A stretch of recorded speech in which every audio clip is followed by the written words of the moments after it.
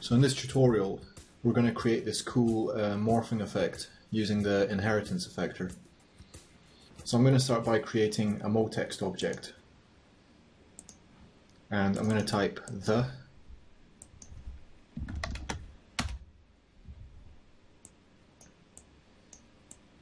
and I'm going to make the font Arial black because it's quite thick and I'm going to leave the depth at 20 centimeters you don't want it too deep and now I need to make this editable so a quick trick is to go to the connect object and then drop the motext into the connect object and I'm just going to turn on lines make sure that uh, nothing's collapsed. And then we click on the connect object and just click make editable here. And that gives us a polygon uh, text object. So I'm going to use this for a MoGraph cloner. So I'm going to create MoGraph cloner and I'm going to create a sphere, drop it in the cloner. I'm going to give the sphere a radius of 5 might be too small, maybe six. And I'm going to set the cloner to object mode. And I'm going to drop the text object in there. I'm going to set the distribution to volume. That way we can actually control the count. So I'm going to start with 200 maybe. And I'm just going to hide my text object now. And I'm going to keep increasing the count till it's legible. So say 600. Okay. So basically this is the starting point and next we're going to create the end text object. So I'm just going to hide everything.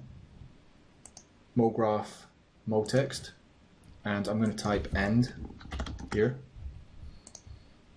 Going to set it to Arial black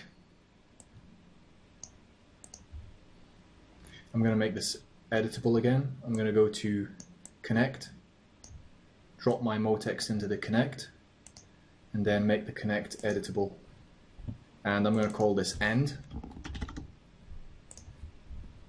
And this is the target. So what I'm going to do is I'm going to create a matrix object, which is basically like a cloner, but it just has uh, empty position data.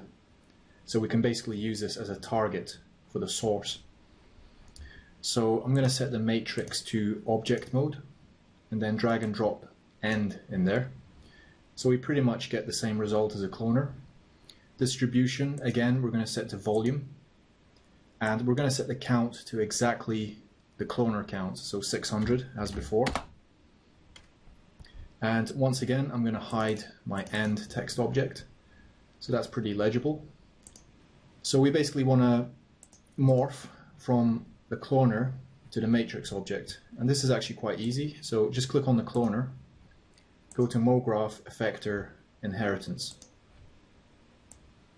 So we created our inheritance effector and selection, I'm going to use the matrix. So basically, sorry, not selection, the object. I'm going to drag and drop the matrix in there. So that's our target and morph motion object. I'm going to check that. So now if we uh, play with the strength setting, it morphs from the to end and I'm just going to hide the matrix as well. We don't need that any longer. So you can already see the morphing effect. So I'm just going to keyframe this. I'm going to go to frame 10 it's good to leave a bit of leeway, maybe even frame 20.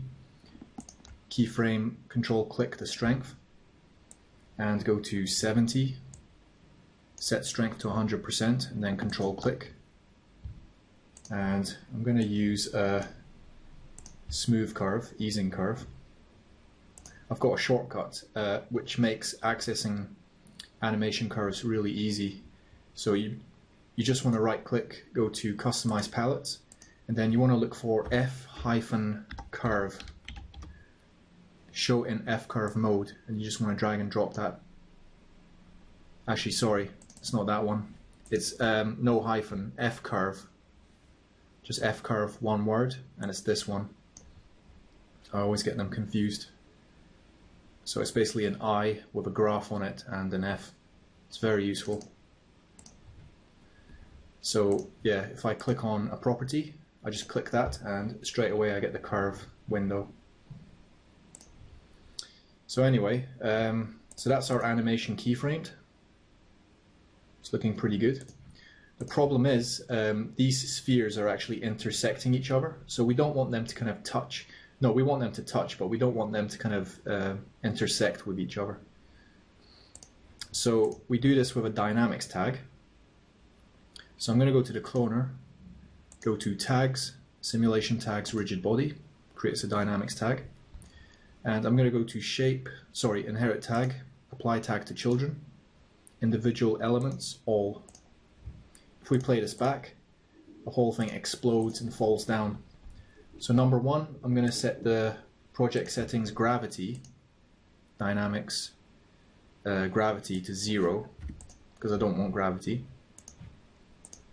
And we still have this problem, this explosion. So to basically uh, solve this, just go to the tag and go to force. And then what we want to do is we want to set follow position and follow rotation to 1. Now the further you increase this, the more they kind of follow the um, keyframed animation from the inheritance effector. So we want to maybe increase these to 10. And now um, they're basically not intersecting, they're still colliding with each other and they're kind of following the original animation. So it's a very cool effect. Um, I'm just going to turn off the line mode, zoom in a bit, and it's hard to see, but none of them are intersecting. They're all kind of uh, resisting each other. And as usual, I'm not going to go through the material part of the tutorial, or it's going to go on too long. I've got plenty of uh, material tutorials. And um, this is just the basic setup. Uh, there's a lot more you can do with the inheritance effector, some really complicated stuff. But this is the kind of basic introduction. And uh, if you found this tutorial useful, please share it. And thanks for watching.